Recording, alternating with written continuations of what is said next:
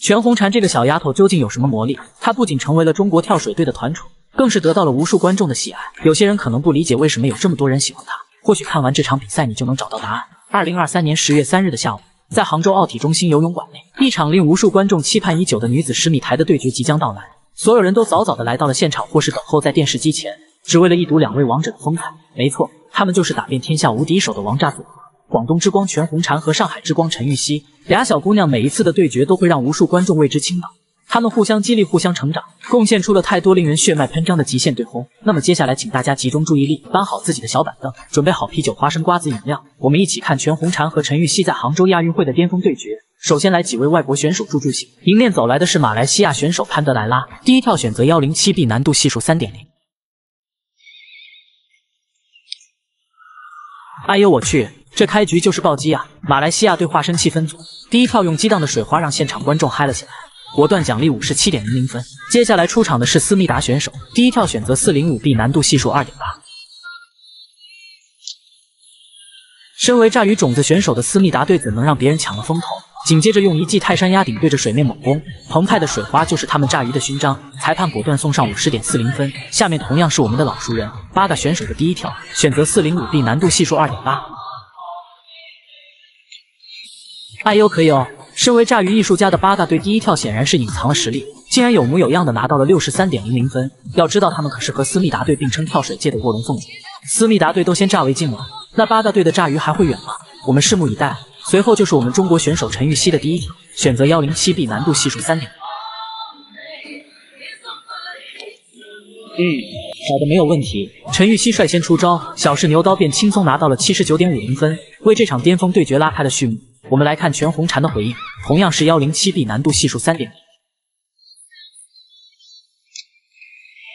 水花压的真漂亮！我的天呐，今天全红婵这么兴奋吗？开局就上演了水花消失术，引起了观众们的阵阵惊呼。很明显，开局全红婵的状态更胜一筹，以八十五点五零分的第一跳力压陈芋汐，抢占了第一的位置。我们接着看第二轮的比赛，马来西亚选手的第二跳选择二零五 B，难度系数二点九。不错不错，马来西亚选手不愧是经验丰富的老将，第一跳的失误并没有影响到他的心态，这一轮找到状态如愿的拿到了六十六点七零分。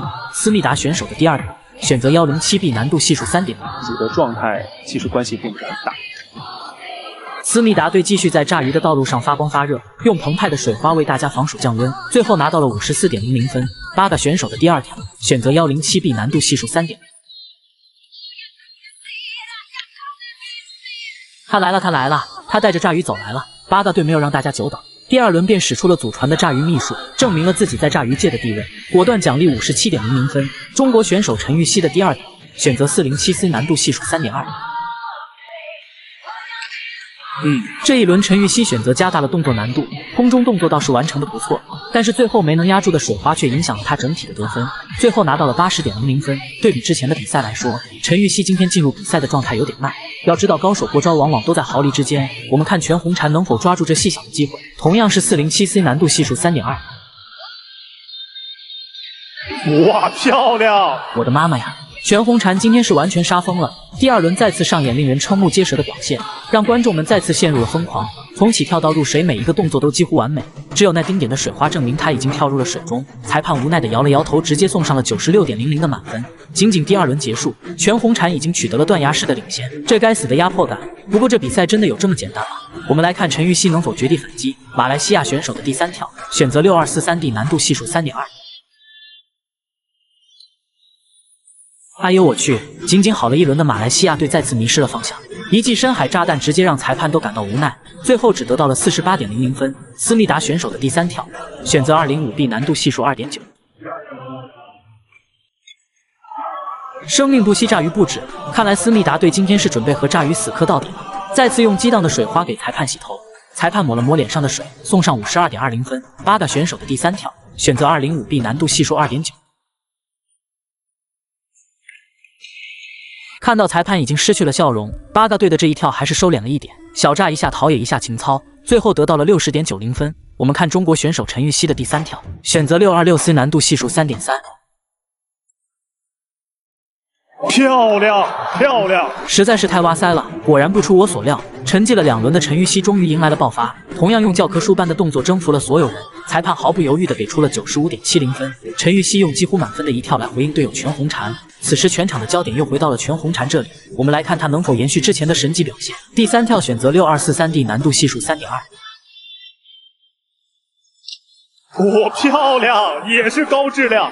漂亮漂亮！这一次全红婵没有留给陈芋汐反超的机会，又是稳稳的拿到了八十六点四零分。虽说这一轮陈芋汐已经开始起势，但无奈今天的全红婵犹如天神下凡，依然以十几分的优势稳居第一。接下来来到关键的第四轮，两位王者定会倾尽全力的拿下这一赛点，我们拭目以待。马来西亚选手的第四条，找回了一点状态，中规中矩的拿到了六十点八零分。思密达选手的第四条。思密达队真是从头炸到尾，那是一跳也没落下，直接炸到天荒地老海枯石烂，炸到裁判也要送上九十九个赞，最后得到了四十点六零分。八嘎选手的第四条，隐忍了一波的八嘎队终于出手了，这一跳直接炸出了八嘎的风采，炸出了八嘎的态度，炸的裁判那是七荤八素，同样送上五十点四零分。中国选手陈芋汐的第四条，选择二零七 C，难度系数三点三。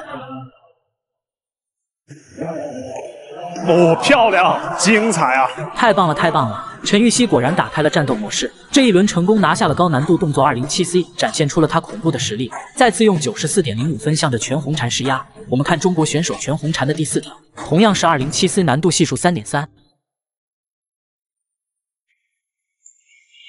出事了，出事了！全红婵的二零七 C 再次出现了波动，最后只得到了七十五点九零分。这比赛顿时变得扑朔迷离了起来，所有人的心都提到了嗓子眼，因为此时全红婵仅仅领先着陈芋汐五分，谁能笑到最后还真不一定。那么接下来还剩最后一条，两位王者会用什么方式来结束比赛呢？我们平复一下激动的心情，一起来看最后的对决——马来西亚选手的最后一条。太可惜了，马来西亚队终究还是走上了炸鱼这条不归路，最后以四十八点零零分结束了比赛。斯密达选手的最后一天，向前翻腾两周半，转体一周。哎呦呵，最后一跳，斯密达队终于开了窍，降低了动作难度，稳稳的拿到了五十八点零零分。八个选手的最后一跳，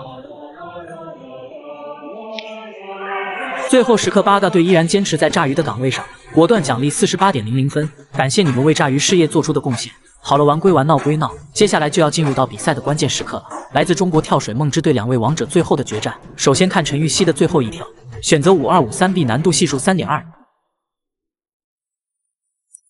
漂亮，漂亮，跑得非常的 nice。关键时刻，陈芋汐展现出了大将风范，顶住了压力，稳稳的拿到了八十六点四零分，成功将难题抛给了队友全红婵。我们来看全红婵这一次能否把握住机会。她的这一跳同样是五二五三 B，难度系数三点二。大家屏住呼吸，千万不要眨眼。非常精彩的一跳！哇塞哇塞，实在是太哇塞了！这一次全红婵卸下了所有的包袱，将注意力全部都放在了动作质量上，再次用华丽又精准的动作打动了裁判的芳心。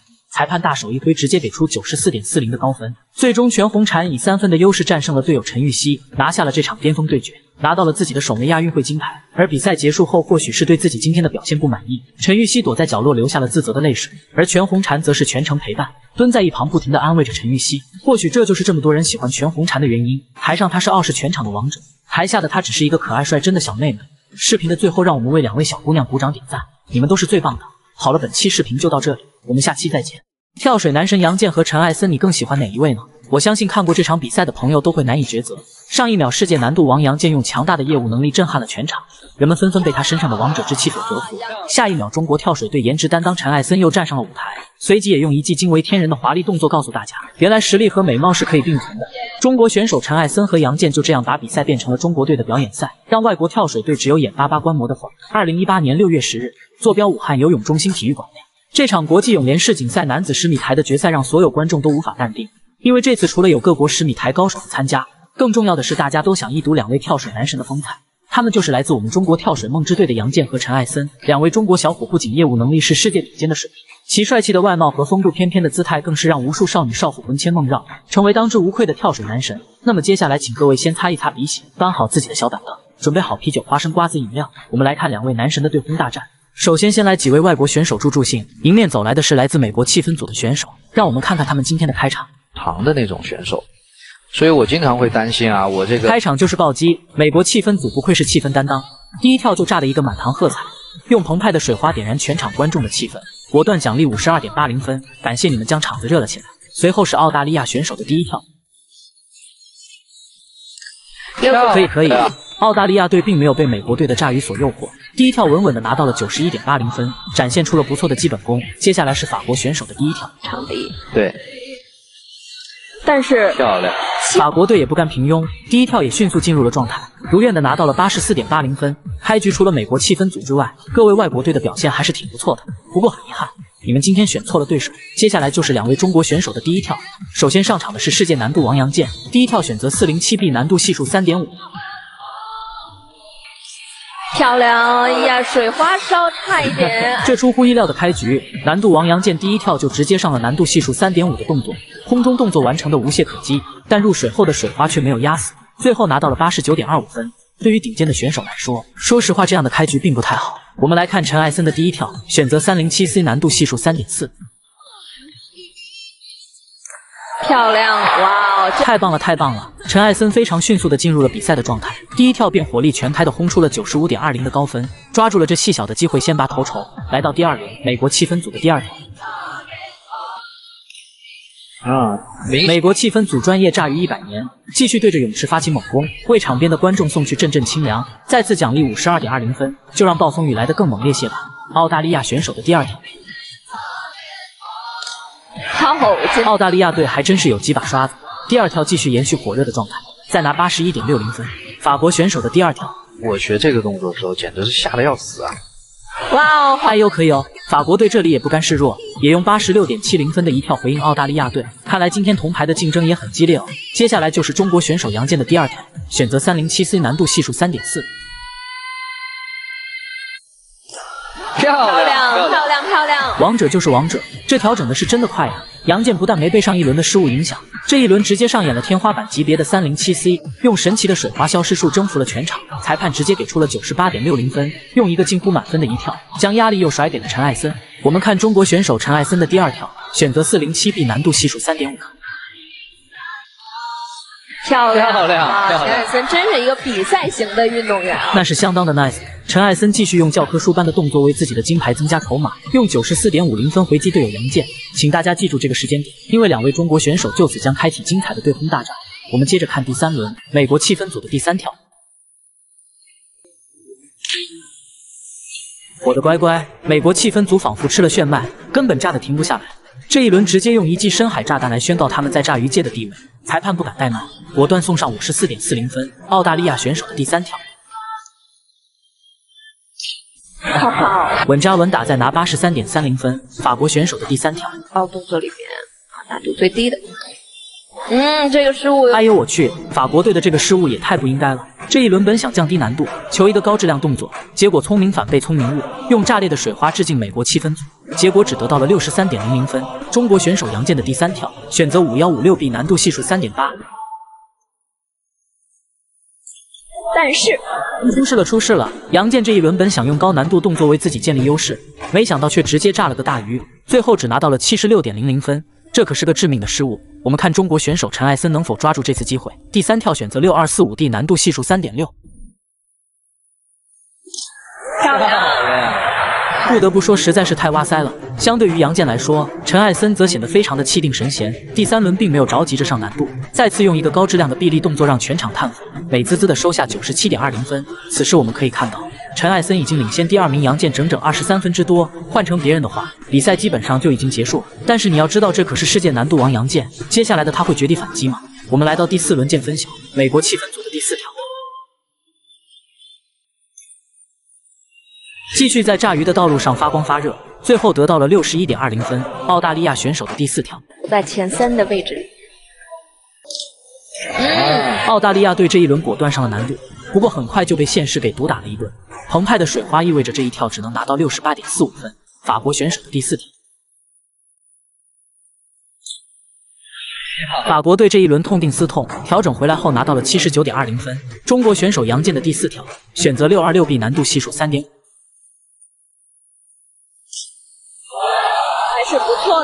可以可以，身为王者不仅要有精湛的技术。更要有强大的心理素质。落后的杨健并没有泄气，这一轮又拿到了九十一点零零分。中国选手陈艾森的第四条选择二零七 B 难度系数三点六。神奇的一幕发生了，一直很稳定的陈艾森这一轮倒在了二零七 C 的十六群下，最后只拿到了七十点二零分。看来老天爷都舍不得让这场比赛这么快结束，想多看一会儿两大男神的表演。那么大家安抚下自己激动的小心脏，我们马上进入到关键的第五轮，美国气氛组的第五条，直接炸到天荒地老海枯石烂，炸到裁判也要送上九十九个赞。裁判抹了抹脸上的水。骂骂咧咧的给出了六十二点九零分，跳得很好，下次不许再跳了。澳大利亚选手的第五跳，哦，我的妈妈呀！一直是乖乖男孩的澳大利亚选手，终究还是没能抵御住炸鱼的诱惑，直接一招排山倒海，让菲律宾天团都自愧不如，也送上三十六点三零分。法国选手的第五跳。好的，没问题。法国队抓住了这次宝贵的机会，用高质量一跳拿到了八十五点八零分，成功反超了澳大利亚队。下面就是中国选手杨健的第五跳，选择二零七 B 难度系数三点六。漂亮，啊，杨健啊！太精彩了，太精彩了！拉回到同一起跑线后，杨健这里率先发难，用高难度动作二零七 C 一举轰出了一百零二点六零的超级高分。两位王者不断的极限拉扯，看的人大呼过瘾。此时巨大的压力又来到了陈艾森这边，他能否接住杨健的攻势呢？第五跳选择幺零九 C 难度系数三我的天呐，陈艾森这是一点也不怂，直接用一个难度系数三点七的高难度动作回击杨健，也轰出了九十九点九零分。两位中国选手的对轰大战已经进入到了白热化，双方依然在同一起跑线，他们将在最后一轮中决定生死。这比赛有心脏病的人真是一点也看不了，真是太刺激了。此时场边的观众也纷纷起立，所有人将在最后一轮中见证历史性的时刻。那么接下来，请大家擦亮双眼，我们将进入最后的决战——美国气氛组的最后一条，去来承受的。